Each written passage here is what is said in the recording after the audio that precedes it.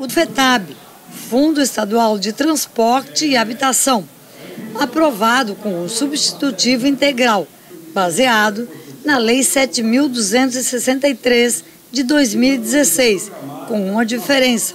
Agora o FETAB vai valer até o ano 2022 e recebeu também algumas emendas que devem sim incrementar a arrecadação do Estado.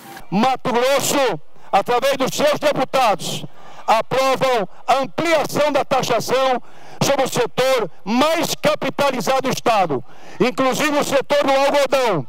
O setor do algodão que não vinha pagando. E através desta taxação, o algodão colocará algo em torno de 250 milhões ano nos cofres do Estado.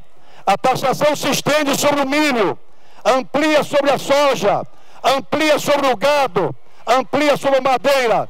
Todos os setores do agro, então, estão devidamente taxados. O deputado Eduardo Botelho falou à imprensa depois de uma longa sessão em que foram aprovados vários projetos de lei enviados pelo governo e um decreto de calamidade pública por 180 dias da gestão em Mato Grosso.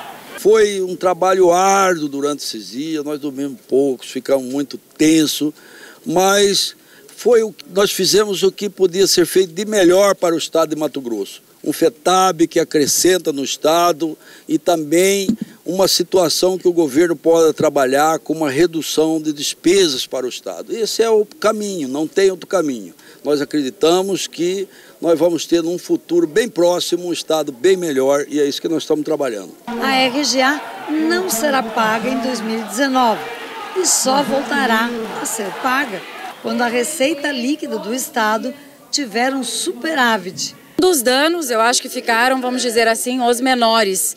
Que o RGA a gente já não contava com ele esse ano, uma vez aprovado o decreto de calamidade. 180 dias a gente já sabia que não seria pago esse ano. Então, é, existe uma perda do RGA do ano que vem. A gente tem que considerar também o RGA que não foi pago. Foi votado do jeito que nós gostaríamos? É claro que não. Já sabíamos que, era já, que éramos a minoria. Mas foram votados com as emendas negociadas com o presidente Eduardo Botelho e com o restante dos deputados, que amenizaram muito o impacto no servidor. Quer dizer, antes não teria progressão, não teria promoção, RGA 10 anos, então melhorou muito a redação das leis que foram aprovadas.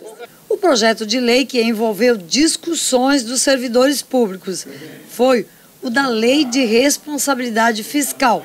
Este propõe cortes envolvendo pastas, secretarias e os gastos com os servidores.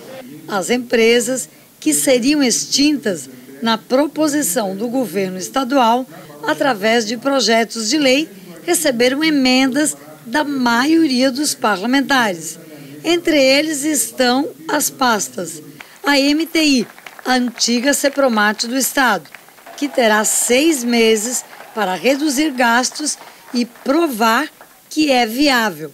A EMPAER, que se tornou agora um instituto e fará parte da Secretaria de Agricultura Familiar, além do MT Desenvolve, cabendo agora ao governador do estado sancionar as emendas ou vetá-las.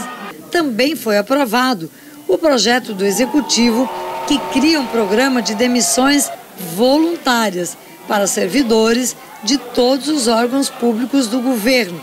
Só na Empaer, 150 funcionários já se inscreveram neste programa.